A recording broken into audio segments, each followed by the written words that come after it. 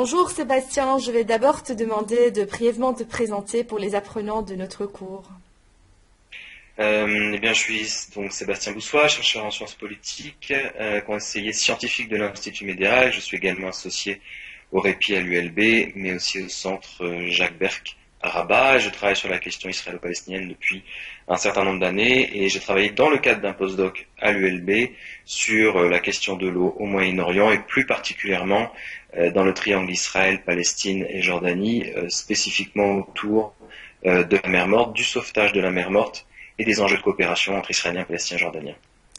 Alors, vous travaillez sur une région difficile et de plus sur une question difficile qui, pose, je m'imagine, pas mal de, questions dans cette région-là. Oui, c'est une euh, région dont on a pour habitude de dire qu'elle est aride, qu'elle est une des régions euh, les plus euh, sèches et les plus désertes du monde. Et en même temps, c'est une région où il y a beaucoup de sources d'eau et beaucoup de châteaux d'eau. Je pense euh, à l'Égypte évidemment et euh, à, l'Éthiopie, mais je pense également euh, plus haut à la Turquie. Et sur le secteur qui m'intéresse, Israël, Palestine, Jordanie, il y a de l'eau.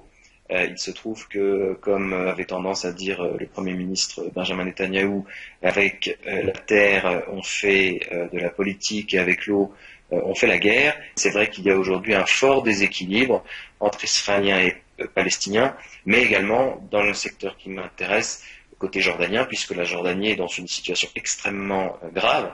Elle fait partie des dix pays les plus arides au monde. Euh, elle n'a pas de ressources particulières. Elle est dans un déséquilibre démographique depuis 60 ans, avec des arrivées successives euh, de réfugiés, et elle est dans une situation économique extrêmement, on va dire, fragile. On a ici une région qui est très complexe. Il y a, trois acteurs qui s'interlient pour avoir accès à l'eau, mais en même temps qui sont dépendants l'un à l'autre et de l'accord de l'un à l'autre pour pouvoir y accéder. Oui, les zones, les zones de répartition d'eau comme les aquifères euh, ne, se, délimitent évidemment pas aux frontières qui sont mhm. tracées actuellement.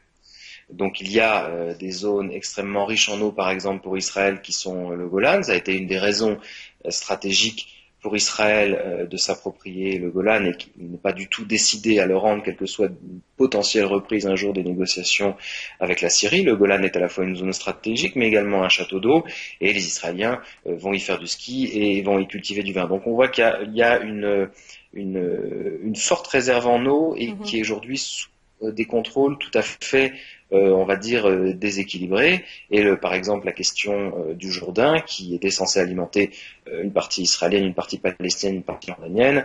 Aujourd'hui, le Jourdain n'est plus qu'un mince filet d'eau parce que depuis 1955, il est détourné par Israël par ce qu'on appelle le Israel National Carrier et qui avait pour objectif dans l'idéologie et la construction du projet sioniste de l'État d'Israël de fleurir, comme on avait tendance à dire, en tout cas de verdir le désert. Euh, donc, du coup, euh, c'est vrai que l'urgence euh, absolue, par exemple pour la Jordanie, c'est de construire un canal qui lui permettrait d'alimenter le pays.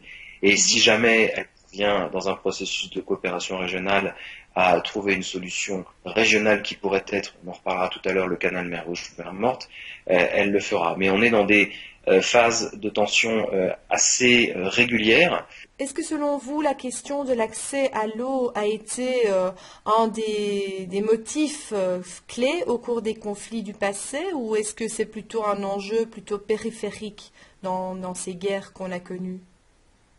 Je crois que c'est un des éléments avec la question euh, du transfert ou du déplacement des populations, de la question des réparations, de la question de Jérusalem.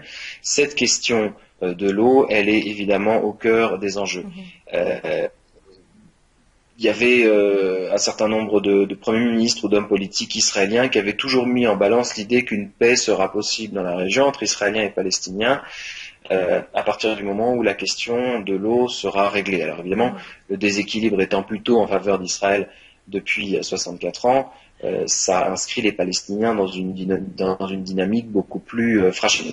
C'est vrai que côté israélien et palestinien, la question de l'eau est inscrite et doit être inscrite systématiquement dans les accords euh, de paix, entre guillemets, en tout cas dans les accords d'Oslo, il y avait eu euh, des négociations autour de la répartition de l'eau qu'il devrait y avoir entre euh, les deux entités. Elle n'a pas été tout à fait respectée et aujourd'hui les Palestiniens qui sont sur une montagne, en tout cas sur une colline, on, sont les, dindons de la farce de cette histoire de répartition d'eau, puisque aujourd'hui le, déséquilibre est flagrant et la répartition ne se fait évidemment pas au profit d'une région et, d'un pays, entre guillemets, en tout cas d'une population palestinienne, euh, qui est dans un espace, il suffit d'aller sur place, euh, extrêmement vert et extrêmement riche en eau. Maintenant, il faut aussi prendre un petit peu de recul par rapport à, cette idée globale, systématique, que la prochaine guerre au Moyen-Orient sera la guerre de l'eau, de ce fameux spectre de la guerre de l'eau.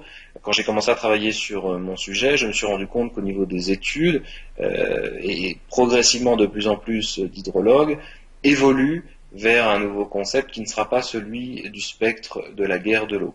C'est-à-dire que euh, il y a finalement, euh, comme des fois il vaut mieux un, bon, arrangement qu'un mauvais procès, il y a finalement des équilibres qui se créent dans le déséquilibre et que euh, les répartitions qui sont aujourd'hui celles-là entre Israéliens, Palestiniens, Jordaniens partent souvent de faits acquis, c'est-à-dire euh, du détournement du Jourdain par Israël. Aujourd'hui, il n'est pas vraiment question, voire absolument pas question pour les politiques israéliens de réouvrir le Jourdain, par exemple, qui permettrait en partie, euh, je ne vais pas dire de sauver la mer morte, mais en tout cas de, réouvrir euh, le seul point d'approvisionnement du bassin, mais également de permettre à la région d'avoir un de ses principaux affluents au fleuve euh, de, revoir le jour un petit peu différemment de, ce qu'il est aujourd'hui. Et donc pratiquement ce qui se passe aujourd'hui, c'est que l'Israël, quelque part, il bloque le, courant qui devrait alimenter la mer morte bah, c'est pas pratiquement, c'est même complètement. En fait, il y a plusieurs éléments qui sont liés à, ce, à cette situation euh, de dépérissement de la mer morte. Il y a un processus d'évaporation naturelle, mhm. euh, d'abord un processus de réchauffement climatique, vous apprendrez rien. Il y a ensuite un processus euh, euh, de, pénurie d'eau qui s'est accru euh, depuis à peu près 70 ans. Et il y a ce détournement du Jourdain qui était donc, comme j'expliquais, le premier, le principal point d'approvisionnement de la mer morte. Donc du coup, il n'y a plus d'eau vivifiante qui entre dans le bassin.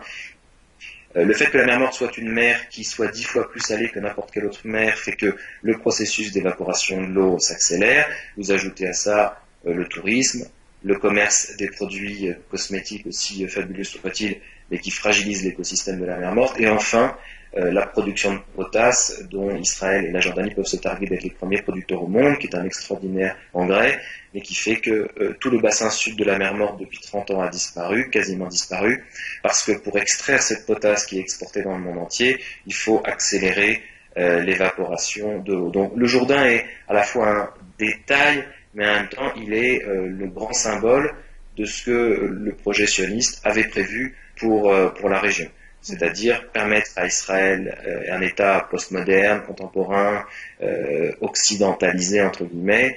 Euh, pour que cela soit possible, il fallait absolument commencer par sécuriser les zones d'eau et l'approvisionnement. Et c'est passé notamment par ce détournement du Jourdain pour permettre au sud du pays de se développer. Et qu'est-ce que l'Israël fait avec l'eau qu'il bloque en, amont du courant?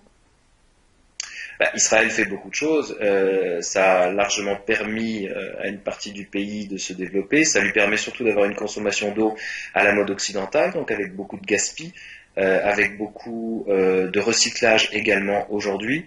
C'est-à-dire qu'Israël est devenu progressivement à la pointe du recyclage de l'eau, ce qui ne doit pas pour autant permettre de maintenir une consommation qui est euh, dans des déséquilibres absolument phénoménaux par rapport aux Palestiniens et par rapport aux Jordaniens, et avec même des déséquilibres internes entre les Israéliens de l'intérieur et par exemple les colons des territoires qui consomment deux fois plus, colons ou les habitants des implantations, comme vous voulez, qui consomment deux fois plus d'eau euh, qu'un Israélien euh, de l'intérieur.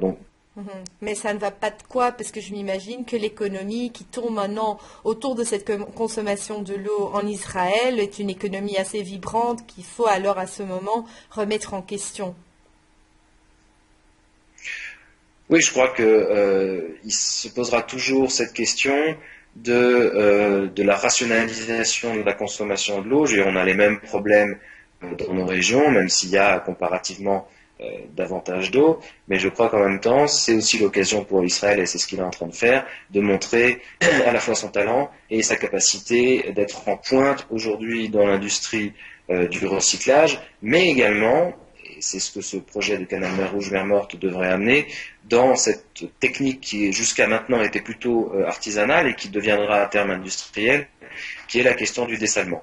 Je crois que la question du dessalement est aujourd'hui euh, quelque chose de tout à fait mineur, euh, mais il y a la possibilité de produire davantage d'eau douce par ce processus-là. Encore une fois, est-ce qu'on réduit les consommations pour être rationnel et pour être un petit peu logique et pas être dans cette surconsommation permanente?